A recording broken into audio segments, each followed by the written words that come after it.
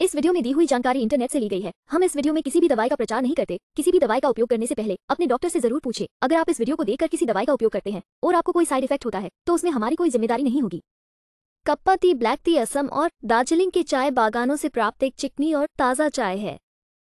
ये पॉलीफेनोल से भरपूर होता है, जिसमें एंटीऑक्सीडेंट गुण होते हैं। इसमें कैफीन की मात्रा अधिक होती है और ग्रीन टी की तुलना में इसका स्वाद अधिक मज़बूत होता है। इसका गर्म या ठंडा आनंद लिया जा सकता है। चलिए जानते हैं इसके कुछ फायदों के बारे में। एक, यह मेटाबॉलिज्म को बूस्ट करने में मदद करता है। दो, ये फोकस और एकाग्रता में सुधार करता है। तीन, इसमें एक ताज़ा स्वाद है, जो मन और शरीर को सक्रिय और पुनर्जीवित करता है। चार, यह एंटीऑक्सीडेंट से भरपूर होता है, जो शरीर से विषाक्त पदार्थों को बाहर निकालने में मदद करता है। पाँच।